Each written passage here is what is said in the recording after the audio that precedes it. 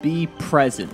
Why is it so hard to be here now? What does that even mean? You let go of that future. It feels like you're closing your eyes, like you're lost. But the truth is, if you can actively create in the now, you're creating that. But every time you're focused on where you're going, you're not creating, you're thinking you're not doing. And yes, you have those intentions. We all need clarity sometimes. We all need to write it out like I just did. But even if you don't get the clarity, even if you don't write out what you want to do, creating now is still going to create what you ultimately love to do. It's ultimately going to create where you want to go. Because no matter where you're going, you have to create that energy now. And you pick where you want to go based on what you want to feel and what you want to do. So if you start doing those things and start feeling those things, you're going to create that anyway. So I'm almost thinking there's no need for the future at all, whether it's art, whether it's just learning, becoming better. And the less you know about the future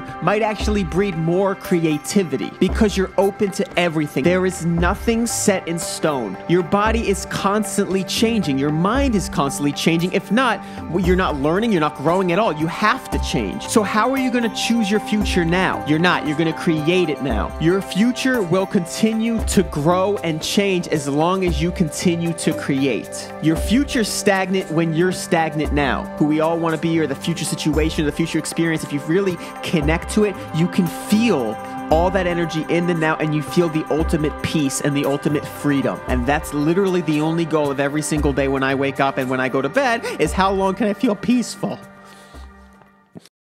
All that energy is use is that thing. if you can continue to create.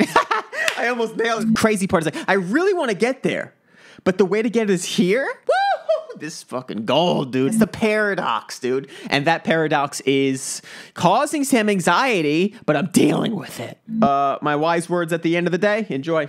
let's have a great one. How do you say like goodbye after that? Goodbye. Just like send you on your way. Have that. Hope that helped.